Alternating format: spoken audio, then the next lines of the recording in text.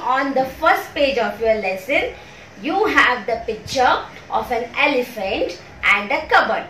We will try to understand this diagram through an object. I don't have an elephant as of now children but we have a nice cow. With the help of this cow, we will try to understand the picture of elephant given in your textbook. So children, what is given? If you see the elephant from front, this is how the elephant is going to look like from front. Now, if you see the elephant from one side, this is how the elephant is going to look like. And if you see the elephant from up, this is how the cow is going to look like.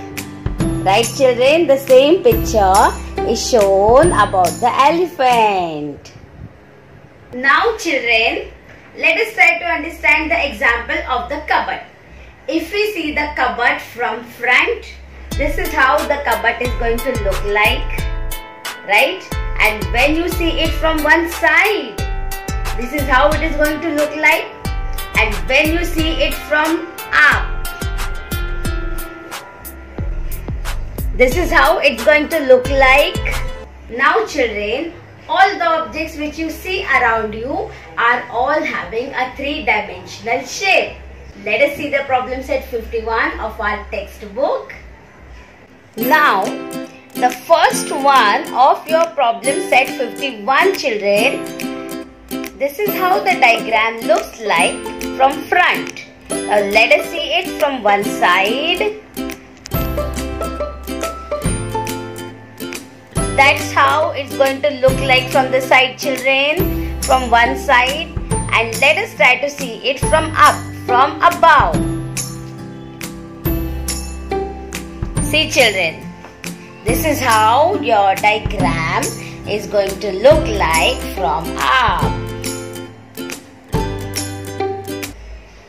Now children, this is your second diagram. The second diagram as we see from front and now let us see from one side.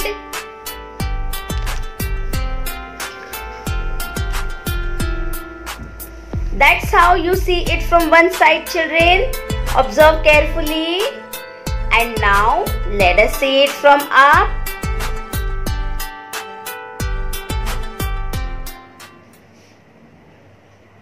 See children, that's how it looks like from up. Just three blocks. Now children, this is your third one. See it from front children. This is how it looks like from front. Let us see it from one side.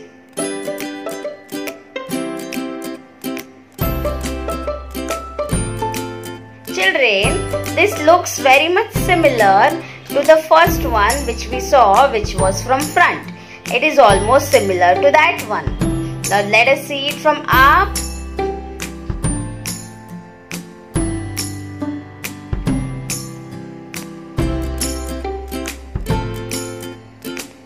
See children, this is how your diagram looks like, the blocks look like from up. Just four squares.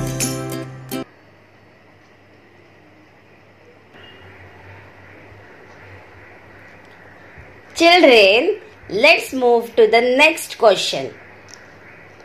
Draw three pictures of each of these three-dimensional objects, a table, a chair and a water bottle as viewed from the front, from a side and from above.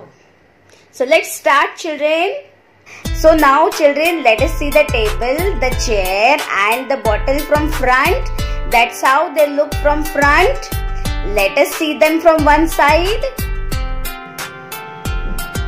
Children, now we are seeing them from the side.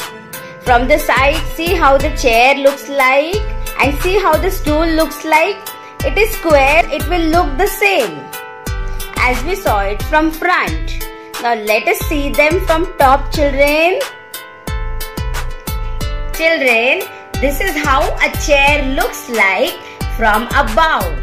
Now let us see the stool which is the table and the bottle.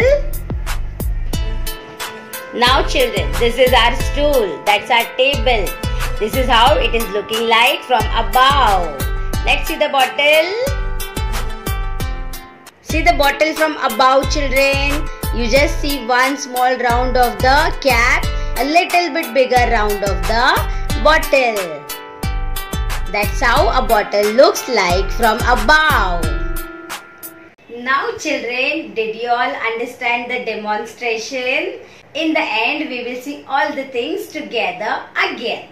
Now, there's one more topic given in our lesson which is called as the cube and the cuboid and the pentomino. Cube, cuboid, pentomino. What are these? Where are we using them? To understand this children, I have one box. This is a box of uh, something. Okay. So, these kinds of boxes are found in all sizes, big and small. We buy shoes, we buy clothes, we buy these kinds of perfume bottles. Whatever we buy children, everything is packed in a box so, this is what we are going to learn in cube, cuboid and pentomino. Those boxes which are square in shape from everywhere, those are called as cubes. And those who are rectangular like this, they are cuboids. And what is a pentomino? Pentomino in simple words is an open box. The name sounds so new so strange, so difficult, but its meaning is very easy children. Now children, in this lesson, we are going to see the net pattern of cube, cuboid and a pentomino. Now what is a net pattern? Oh, this is something new again. What is a net pattern? It is, is it like a net? No children, it is the open form. When you open the box, what do you see? That is a net pattern. Let's see the net pattern of a cube first. Children, this is one more box of a cream. Some cream. One more box. Now children, see it is closed from everywhere. As you can see, it is closed from everywhere. Now, we will see its net pattern. When you open it children, the four sides, just observe the four sides which are forming the four sides. From all the four sides up and down. Right? Up, this is up, top flap. This is the bottom flap. Up and down, both of them and the four sides. That is the net pattern. This one children, this top and this bottom can be connected to any of the four squares. Because when you close it, it is going to close from both sides. So, this is a net pattern of a cube. Interesting, no? And it's very easy also, children. Let's close and see once again. Oh, the four sides. And up and down, my box is closed. See? From everywhere. Done. That's a net pattern of a cube. Let's see the net pattern of a cuboid. Very nice golden box children. Right? So, again the four sides. You can see children the four sides.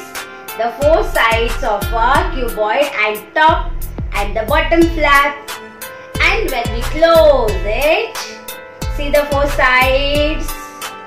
Right children, all the four sides and up and down. That's the net pattern of a cuboid. I hope you all are understanding and finding it interesting children. This is the net pattern of a cuboid. These two flaps children can go with any of the four squares remember. So do not get worried, do not get afraid if these patterns look different from the ones shown in your textbook. In the end when we close them, they will close the whole box. Let's see the pentomino. That's a pentomino children. Same only. Now see the pentomino. This is an open box. I've removed the top flap. This is a pentomino children. See the four sides as we open it. The four sides and only one flap for the bottom. This is a pentomino. Five sides. One, two, three, four and five. Five sides. So it is a pentomino. It is going to be closed from one side and it will be open from another side. Open box is a pentomino. Very simple meaning. So children, what we saw in this lesson, the three dimensional objects. We saw one beautiful example of elephant that was shown through the cow. From front, from side and from up. That's how it will look like from up children. From up. Correct? And we also saw these three shapes. This one, this one and this one. In our problem set 51. We also saw how a water bottle looks like, how a stool looks like and how a chair looks like from all the three ways. From front, from side and from above. This is what is given in your lesson number 13. It's a very interesting lesson children and a very beautiful lesson to understand the dynamics of nature. What we observe every day, every time are the three-dimensional shapes. I hope that you all have understood the lesson. If you understood this lesson, do give a like and a nice comment. So we are always motivated to help you and make the lessons even more interesting. If you like my videos, then don't forget to share it with your friends and do subscribe to my channel to get the latest updates. Thank you for watching till the end.